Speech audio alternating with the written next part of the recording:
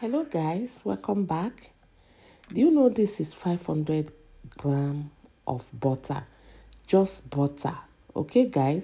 So if you want to get a very nice butter cream make sure that you cream your butter very well. You can see how white this butter is and also how um soft it is. Okay this is the consistency of what you will get before you start to add your icing sugar okay? So i just try to add my icing sugar into two parts okay?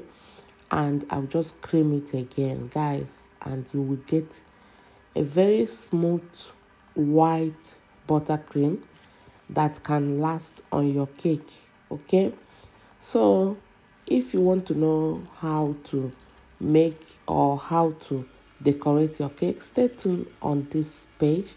This is Dairy Mary Kitchen and we are showing you how to make so many decorations and how to make your buttercream swiss meringue and some other other things okay? So just join me and let us decorate this my uh, three tie cake okay? So first of all i'm just going to be using my glucose. I found that that if i use my glucose to stick my cake it will not move and it will stay uh, very nice for me to you know to trim or to or to apply my buttercream that is why i normally use my glucose. Before i use my cream but now I always use my glucose. So if you have not tried using your glucose before, try it and you will see the difference, okay?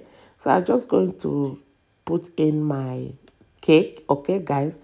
I am not going to trim this cake and you will see how smooth it is. Okay, guys? So join me and let us uh, stick this my cake together. You can ask any other question uh, concerning baking concerning buttercream or any other thing. Guys you see how white this is. I did not add what i did not add color on this buttercream but did you see how white it is? Okay?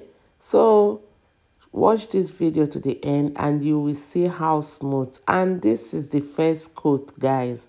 And it will stay very nice. And i'm going my next uh, video i'm going to be teaching you how to make your cake to be level.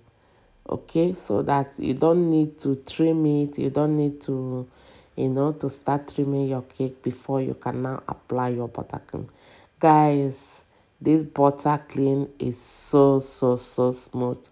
And it makes it easy for me to you know to apply it on my cake.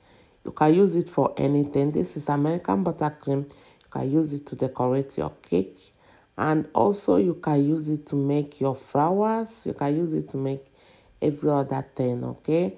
So i am going to be adding in the link for my american buttercream you can as well go and watch it copy it and try it because practice make perfect. And i wish everyone happy new week okay? Thank you for watching and stay tuned for our another wonderful video that is coming up this week. Guys you can see the finish. This is the first coat and i'm going to be showing you the final stage and the decoration of this amazing cake. Thank you for watching and stay tuned for more. Bye.